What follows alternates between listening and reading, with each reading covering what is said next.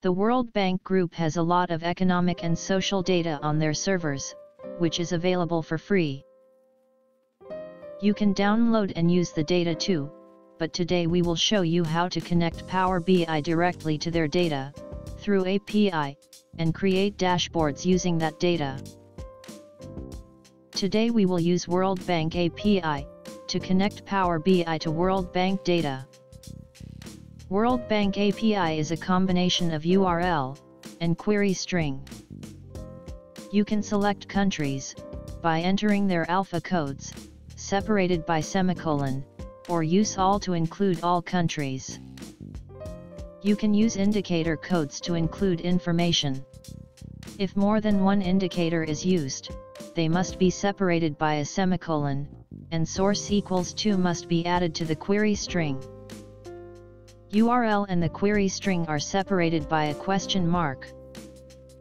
As mentioned earlier, if more than one indicators are used, source equals 2, must be added to the query string.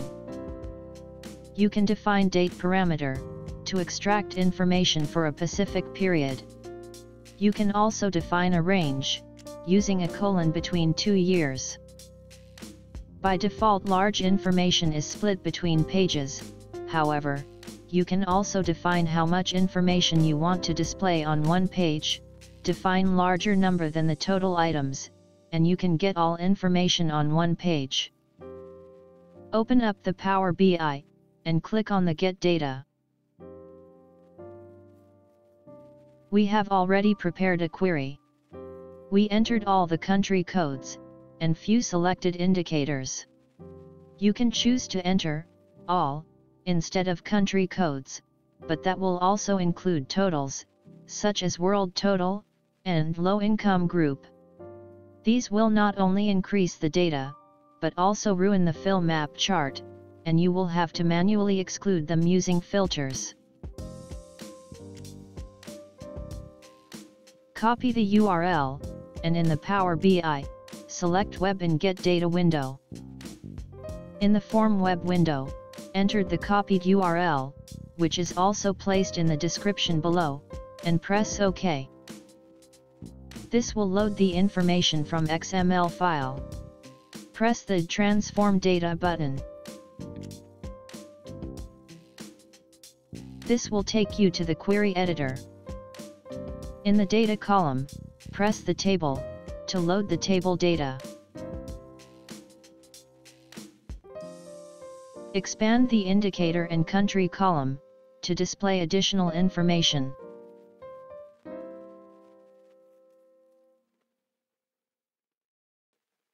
Change the query name to an appropriate one. Press the Close and Apply button to load the data in Power BI.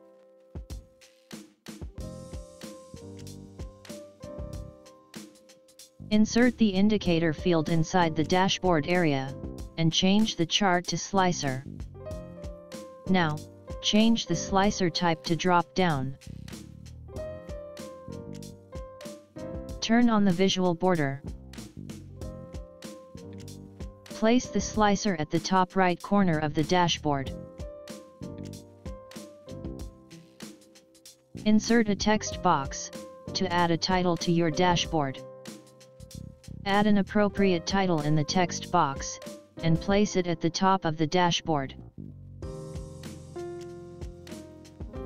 Turn on the visual border for the title text box.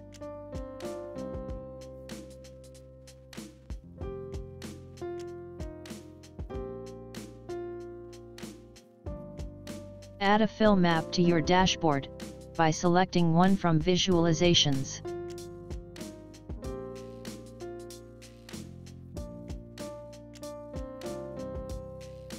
Add country name column from fields to location area. Rename the field to country. Change the map style to grayscale.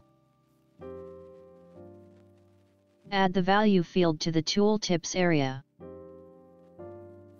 Change the field name from sum of value to value.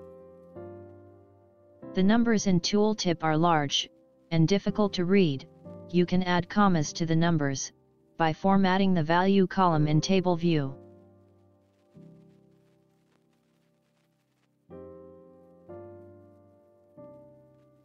Select the value column, and click on the comma button in formatting group. Now the numbers are properly formatted and easily understandable. You may have noticed, that all countries have same blue color. To show color intensity based on data, go to the Formatting tab in Visuals. In the Fill Colors, click the Function button. Select the value field from the table. Select a dark color for the maximum values and press OK. Now, this is much better. Click one of the indicators from the slicer, to display its data on fill map. Go to the Visualizations Format settings, and turn on the visual border for the fill map. Drag the date field to the dashboard area.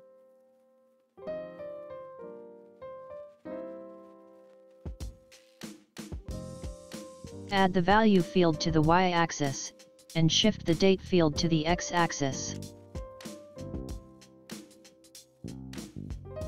Rename the date field to year.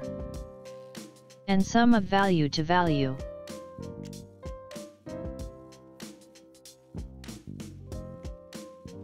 Change the chart type to a line chart.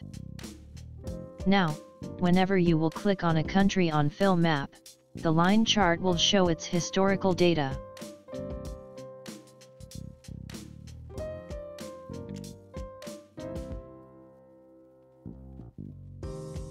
Select the line chart, got the, the Visualizations Formatting tab, and turn on the visual borders for the line chart.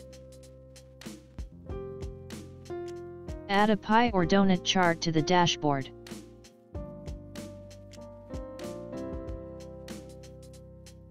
Add country name field, to the legend area, and rename it to country.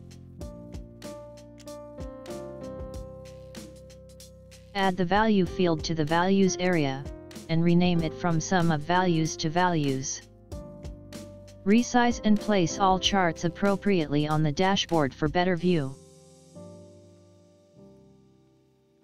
Power BI has been connected to the World Bank data, and selected indicators are properly being displayed on our dashboard now.